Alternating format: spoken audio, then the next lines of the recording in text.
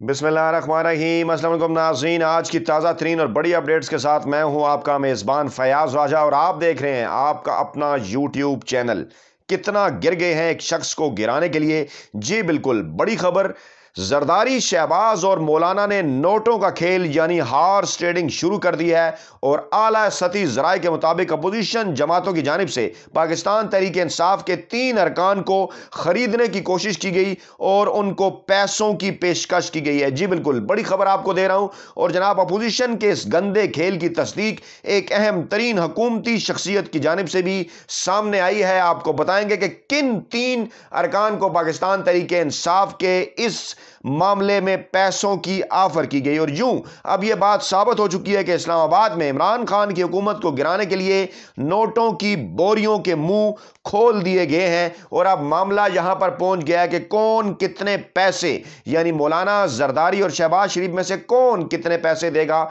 ऐसा कहना है एक हुकूमती शख्सियत का। तमाम तर तफसीत आपके सामने रखेंगे, लेकिन उससे पहले आपको बताएँगे जनाब, शहबाज शरीफ के जोहराने का अहवाल, और फिर उसके साथ साथ आपको बताएँगे कि आसिफ जरदारी जो आज इशाया दे रहे हैं, उसकी क्या खबर है? और मौलाना और मरियम के दरमियान जो खुफिया मुलाकात हुई, उसमें क्या तय पाया था? लेकिन सबसे पहले और बड़ी खबर यह कि एक ऐसे मौके पर कि जबकि वज़ी पाकिस्तान इमरान खान आज रूस के तारीखी दौरे के ऊपर रवाना हो रहे हैं। तेईस वर्षों बाद पाकिस्तानी वजी अजम का, किसी भी पाकिस्तानी वजी अजम का यह रूस का जो है, वो दौरा है, सरकारी दौरा। और इस तारीखी दौरे की कवरेज को छोड़कर बाज़ मखसूस मीडिया मुलाजिम, साफ़ी और मखसूस टी वी चैनल जो है, वो इस वक्त एक तासर भारने की कोशिश कर रहे हैं। तरीके दम अहतमाद के हवाले से ख़बरों की जो है, वो कवरेज भी हो रही है और उन चीज़ों को बढ़ा चढ़ा कर भी पेश किया जा रहा है। लेकिन इमरान खान का यह अहम तरीन दौरा, रूस का तारीखी अहमियत का हामिल है और इमरान खान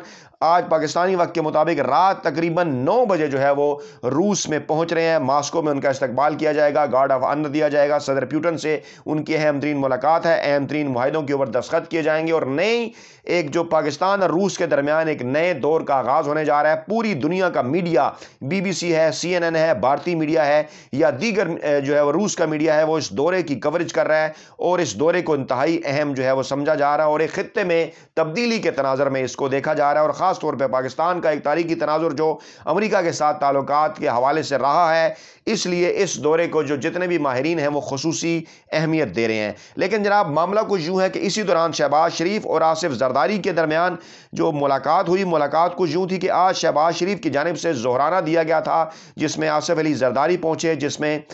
मौलाना फजलरहमान भी पहुँचे और मामला एक मरतबा फिर वही है कि तमाम तर कोशिशों के बावजूद, क्योंकि अभी तक नंबर गेम जो है वह पूरे करने में अपोजिशन कामयाब नहीं हो सकी और अब दीगर ऑप्शंस के ऊपर भी जो है वो गौर शुरू कर दिया गया है कि आइनी और कानूनी तरीके के तहत जो कि एक आइनी और कानूनी तरीका है, उससे वो अगर एक सौ बहत्तर अरकान पूरे नहीं कर सकते तो फिर उनको क्या करना होगा? जराए ने इस बात की तस्दीक की है कि यह भी तजवीज़ सामने आई थी अपोजिशन जमातों के अजलास के अंदर, के जैसा कि इससे पहले सेनेट अजलास में भी हुआ था, और हार्स ट्रेडिंग के हवाले से ख़ास तौर पर शरीफ बरदरान की नवाज़ लीग की एक पूरी तारीख है, और उन्हीं की जानब से इस किस्म का जो है वो पहले भी मशवरा सामने आया था, और आसिफ जरदारी बाद में पाकिस्तान की सियासी तारीख में इस खेल में शामिल हुए, और फिर उन्होंने इस खेल को अरूज पर पहुँचा दिया था नब्बे की दहाई के अंदर, और फिर हालिया सेनेट इलेक्शन में भी आपने देखा कि किस तरह यूसफ जा गिलानी जो है वो सेनेट में अक्सरियत ना होने के बावजूद मुंतब हुए, और वहाँ पर भी ये मामला जो हैं वो सामने आए थे कि किस तरह से पाकिस्तान तरीके इंसाफ के लोगों को, दीगर लोगों को नोट ऑफ़र किए जाते रहे, नोटों की बोरियों की तलात आती रही और एक मरतबा फिर इसी किस्म का मशवरा जो है वो शरीफ माफिया की जानब से सामने आया। जरदारी की जानब से भी उसके ऊपर लबैक कहा गया। मौलाना फजलरमान ने भी हमायत की और उसके बाद ये तलात आना शुरू हो गई कि अब जब नंबर गेम पूरी नहीं हो रही तो अब नोटों की बोरियों के मुँह खोलकर ऑफ़र की जा रही है। जराए ने इस बात की तस्दीक की और अब से थोड़ी देर पहले हमारी इस खबर की जो तस्दीक है वो फवाद चौधरी की जानब से भी सामने आ गई और फवाद चौधरी, जो पाकिस्तान तरीके इंसाफ के अहम तरीन रहनुमा हैं, सियासी मामला के ऊपर, सियासी एक्टिविटीज़ के ऊपर उनकी गहरी नज़र है। उन्होंने बिल्कुल ये बात की। उन्होंने ये कहा कि इस वक्त जो इकट्ठी हो रही हैं अपोजिशन की जमातें और कल जो इकट्ठे हुए आसिफ जरदारी, शहबाज शरीफ और मौलाना और जो आज इकट्ठे हो रहे हैं, इस वक्त उनके मतम नज़र सिर्फ़ एक बात है कि कौन कितने पैसे तरीके इंसाफ को कामयाब जो है वो तरीके इंसाफ के खिलाफ जो है वो अदम अतमाद इमरान खान के खिलाफ अदम अतमाद को कामयाब कराने के लिए डालेगा। और उन्होंने इस दावे की तस्दीक भी की कि पाकिस्तान तरीके इंसाफ के तीन अरकान को, जी बिल्कुल, उन्होंने ये कहा कि पाकिस्तान तरीके इंसाफ के तीन अरकान को जो है वो पैसों की ऑफ़र की गई है, उन्हें पैसों की पेशकश की गई है कि वो पाकिस्तान तरीके इंसाफ का साथ छोड़ें और उनके साथ आन मिलें। उन्होंने ये कहा कि अभी तीन अरकान ने इसको कन्फर्म किया है, दीगर भी तरात आ रही हैं कि लोगों से रबते जो हैं वो किए गए हैं, लेकिन इन तीनों लोगों ने अभी तक जो है वो पार्टी को रिपोर्ट कर दिया है और इनके अंदर लाहौर से जो है वो मुंतब होने वाली एक खातून मैंने मखसूस नशस्तों पर जो मुंतब हुई, वो खातून मैंने शामिल हैं। इसके साथ साथ एक अकलीती रुकन शामिल है और इसके साथ साथ एक जनरल नशस्त पर मुंतब होने वाले पाकिस्तान तरीके इंसाफ के रुकन शामिल हैं। लेकिन इन तीनों अरकान ने पाकिस्तान तरीके इंसाफ की क्यादत को इस मामले से आगाह कर दिया है कि उन्हें जो है वो अपोजिशन जमातों की जानब से ख़रीदने की कोशिश की गई है। इस तरह से हार्स ट्रेडिंग की तारीख रखने वाले शरीफ बरदरान ने एक मरतबा फिर जो है वो नबे की दहाई की सियासत का आगाज़ कर दिया है। आपको याद होगा, चाहे वो मरी बुरबन का मामला हो, चाहे सवाद का मामला हो, किस तरह नब्बे की दहाई के अंदर जो है वो पीपल्स पार्टी और नवाज़ लीग एक दूसरे के अमेनेस को ख़रीदने की कोशिश करते थे। बसें भरकर उनको मरी में और सवाद के अंदर जो है वो ठहराया जाता था और सियासत के अंदर ये गंदा खेल खेला जाता था और अब तमाम दर नाकामियों के बाद एक मरतबा फिर अपोजिशन इस, उसी नतीजे पर पहुँच गई और बिलाखर उन्हें इसी गंदा खेल जो है वो एक मरतबा फिर जो है वो उन्होंने शुरू कर दिया है। लेकिन इस वक्त जो इतलात आ रही हैं, वो इतलात कुछ यूँ हैं कि अब जो है वो जो अपोजिशन की जमातें हैं, उन्होंने इस वक्त ये किया है कि उन्होंने तरीके अदम अतमाद के हवाले से अपने एम एन ए से दस्खत करवाना शुरू कर दिए हैं। लेकिन जनाब, उन्हें यह पता चला है कि जब उन्होंने, जो है वो ये दस्खती मुहिम का आगाज़ किया तो कम अज़ कम एक सौ बासठ अरकान तो कागज़ के ऊपर उनके पास मौजूद होने चाहिए। लेकिन सर दस्त दस्खत जो है वो जिनसे हासिल किए जा रहे हैं, या जिन्होंने दस्खत करने पर, जो है वो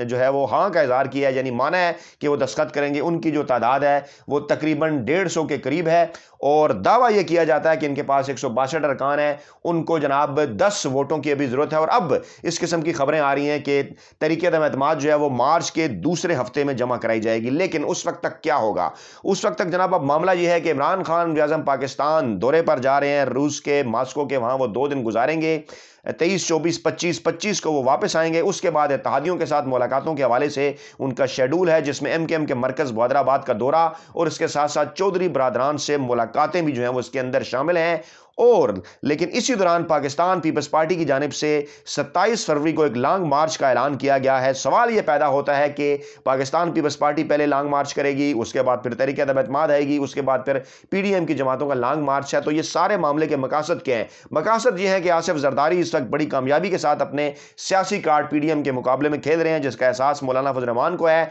और मरियम नवाज़ से उनकी खुफिया मुलाकात में इस तरफ़ मरियम नवाज़ ने इशारा भी किया कि नवाज़ शरीफ और मरियम नवाज़ का जो मौका मौकफ है। वो मौलाना फजलरहमान से मिलता जुलता है, लेकिन शहबाज शरीफ और हमजा शहबाज को पाकिस्तान पीपल्स पार्टी अपने रास्ते पर चलाने की कोशिश कर रही है और गुजशत एक हफ़्ते के अंदर पाकिस्तान जो पाकिस्तान पीपल्स पार्टी है, उन्होंने कम अज़ कम मीडिया की सतह का अपने लॉन्ग मार्च के हवाले से एक माहौल बना लिया है। एक तरफ़ तो जरदारी मुलाकातें कर रहे हैं, लेकिन दूसरी तरफ़ आज जो है वो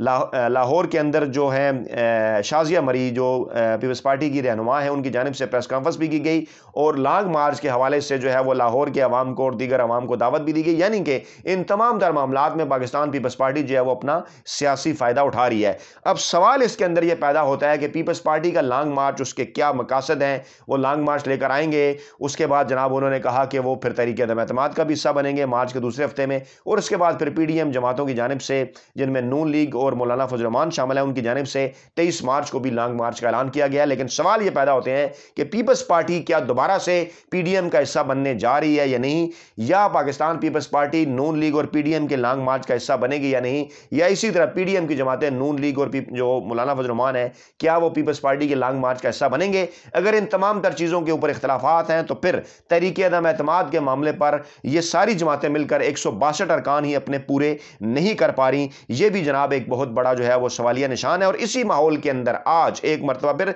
दूसरे फ़ेज़ के अंदर जो है वो इमरान खान की हुकूमत की तहदी जमातों से रबतों का जो फैसला है, वो किया गया है पीपल्स पार्टी की जानब से। और आसिफ जरदारी जो है, वो ये खबर है कि आज रात को जो है, वो इशाइया दे रहे हैं, जिस इशाइये में उन्होंने काफ लीग को, यानी चौधरी बरदरान को उन्होंने दावत दी है कि वो इस इशाइये के अंदर शिरकत करें। और ये भी इतलात हैं कि दीगर सियासी जमातें भी मुमकिन तौर पर, जिनमें मौलाना फौज रहमान भी हैं, जिसमें शहबाज शरीफ भी हैं, वो भी इस इशाइये में शिरकत कर सकते हैं। अगर चौधरी बरदरान की जानब से ग्रीन सिग्नल जो है, वो दिया गया, क्योंकि अभी तक किसी भी ऐसे मौके के ऊपर जहाँ पर ये सारी सियासी जमातें इकट्ठी हों, चौधरी बरदरान इकट्ठे नहीं हुए, इसलिए इतलात यही है कि चौधरी बरदरान को अलहदा ये इशाइया दिया जाएगा और उससे पहले सियासी जमातों ये जो अपोजिशन की सियासी जमातें हैं उनका जोहराना जो है वो आज हुआ। लेकिन आ, मीडिया में सिर्फ़ और सिर्फ़ जो है वो एक तासर फैलाने की कोशिश की जा रही है और अब तक की आज तक की ताज़ा तरीन इतलात के मुताबिक अभी तक जो है वो अपोजिशन जमातों की जानब से जो नंबर गेम है वो पूरी नहीं हो सकी। फवाद चौधरी भी उन्हें 24 घंटों का चैलेंज जो है वो दे चुके हैं कि 24 घंटों में वे सामने लेकर आए लेकिन अभी तक इस चैलेंज को कबूल करने के हवाले से कोई इतलात नहीं है।